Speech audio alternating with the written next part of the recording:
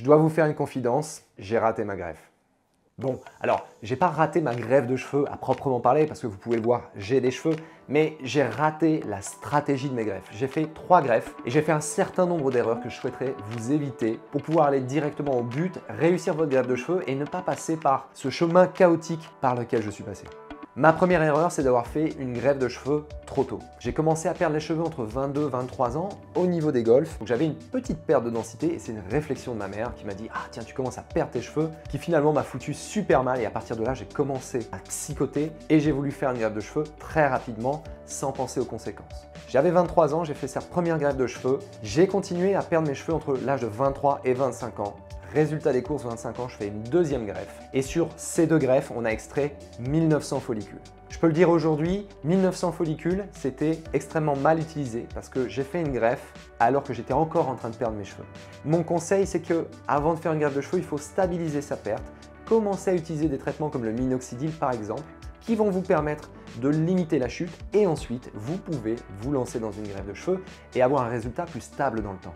Une erreur bonus, c'est que je ne suis pas abonné à cette chaîne Monsieur Cheveux et donc j'ai pas pu avoir tous les conseils et j'ai foiré ma greffe. Si tu veux pas rater ta greffe, abonne-toi, chope tous les conseils.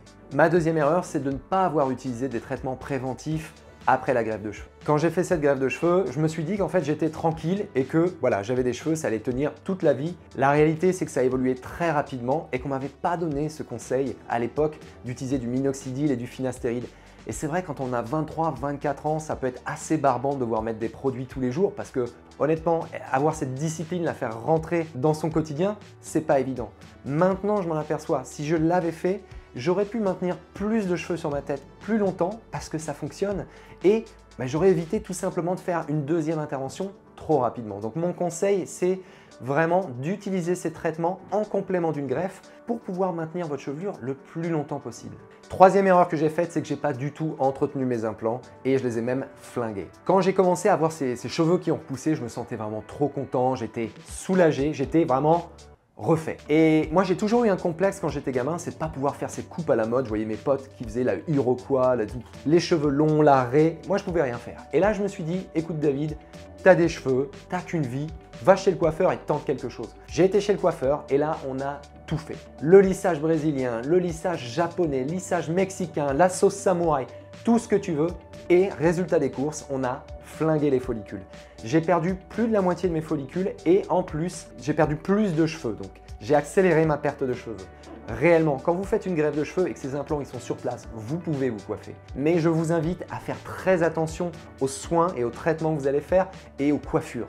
Si vous utilisez euh, de plaques chauffantes, des choses qui tirent sur les cheveux, que vous utilisez des traitements qui sont complètement chimiques, vous allez endommager les follicules et vous allez entraîner une perte de cheveux supplémentaire. Donc attention. Quatrième erreur que j'ai faite, c'est que je ne me suis pas du tout préparé pour cette greffe. Alors quand je dis pas préparé, je savais où je mettais les pieds, j'avais choisi le docteur, je n'ai pas préparé mon cuir chevelu avant de faire cette greffe. Ce qui est important, ce qu'il faut comprendre, c'est que j'ai déjà fait deux greffes auparavant. Donc ça, je vous l'ai expliqué. Quand on a fait ces greffes, la première des greffes a été faite il y a plus de 15 ans et les instruments qu'on utilisait étaient un peu plus gros. Ce qui fait que quand on les a utilisés sur mon cuir chevelu, il y a eu un peu de tissu cicatriciel qui a été créé au niveau des zones implantées. On a fait une deuxième greffe de cheveux, on a réimplanté dessus et bah, le cuir chevelu, il avait un petit peu souffert et avant de faire cette greffe de cheveux, j'aurais dû en prendre soin.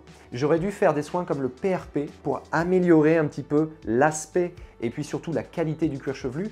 J'aurais également pu faire du derma roller pour minimiser cet aspect un petit peu cicatriciel qu'il y avait sur le cuir chevelu. Je ne l'ai pas fait du tout. J'aurais également pu utiliser le minoxidil pour booster également la circulation sanguine, relancer un petit peu ces cycles de cheveux. J'ai rien fait de tout ça. Je suis arrivé le jour de cette greffe et non seulement le docteur m'a dit écoute David, déjà tu as perdu plus de la moitié des follicules que tu as fait dans les précédentes séances et c'est là où je l'ai découvert, mais en plus, il m'a dit, ton cuir chevelu, on sent qu'il est un peu cicatriciel, on sent qu'il a été travaillé. Donc il va falloir faire beaucoup plus de soins et il y a un petit risque qu'une partie de ces follicules ne se développe pas complètement. Si vous êtes dans mon cas de figure, que vous avez déjà fait une ou deux greffes, si vous allez faire une greffe tout simplement, moi je vous invite à faire des traitements, à faire des soins, préparer votre cuir chevelu avant de faire une greffe de cheveux pour optimiser votre résultat futur.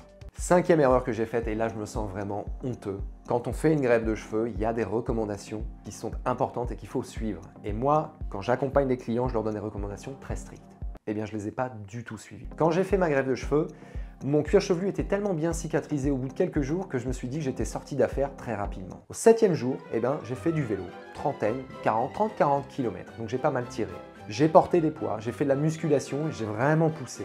J'ai couru, j'ai fait de la course à pied. À deux semaines après l'intervention, j'ai décidé que je pouvais mettre un casque de moto. J'avais pas de douleur particulière, ça veut dire d'être assez propre j'ai foutu le casque et j'ai commencé à utiliser le casque à partir de deux semaines, tous les jours. Et ça, c'est le pire qu'on puisse faire parce que non seulement il y a du poids sur les implants et c'est pas bon, et en plus il y avait de la chaleur et de l'appui. Troisième erreur que j'ai faite, c'est que j'ai commencé à me raser la tête, en fait, à me tondre la tête à 2 mm très rapidement. À peine un mois après mon intervention, je me suis tondu la tête et j'ai continué de le faire. J'ai pas été patient.